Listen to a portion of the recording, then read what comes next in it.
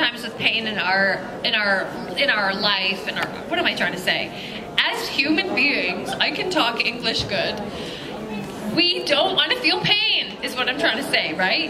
And so what I'm saying is it's very normal. How many here have felt pain and then pushed it down? Raise your hand. See, so it's very common, right? Like all of you. But I want to ask, this is a very important question. I'm going to give you all a homework assignment. And this is this.